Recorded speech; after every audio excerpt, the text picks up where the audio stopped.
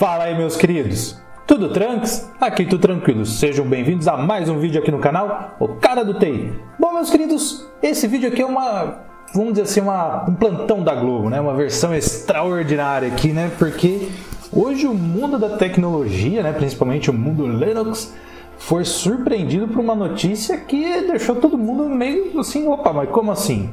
A organização né, Gentoo Linux né, soltou um, um, comunicado, né, um ofício falando que a sua conta no GitHub foi hackeada. Isso mesmo, meus queridos.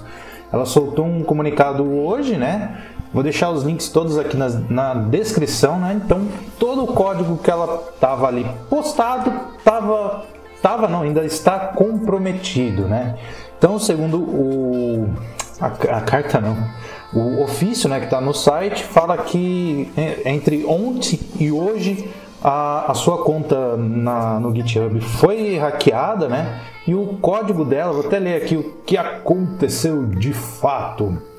Que o, as árvores, né, Postage e o mus ldev, né, uh, foram trocados por versões maliciosas né, das suas e-builds. O que, que são e-builds? São scripts né, no, no Bash que automatiza e até compila algumas instalações de programas e softwares e afins. Né?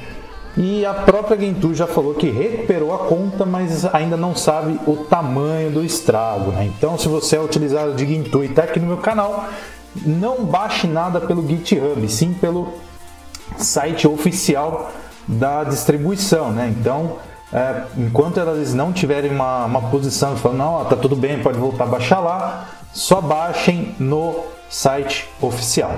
Tá bom, meus queridos? Eu queria trazer esse vídeo rapidinho aqui para dar essa notícia aí que surgiu praticamente de última hora, tá bom?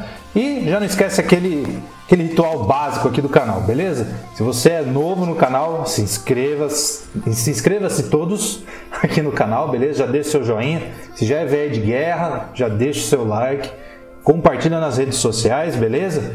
E as minhas redes sociais vão estar aqui no primeiro comentário do vídeo. Beleza, meus queridos? Espero ter gostado do vídeo. Até uma próxima. Aquele abraço e tchau!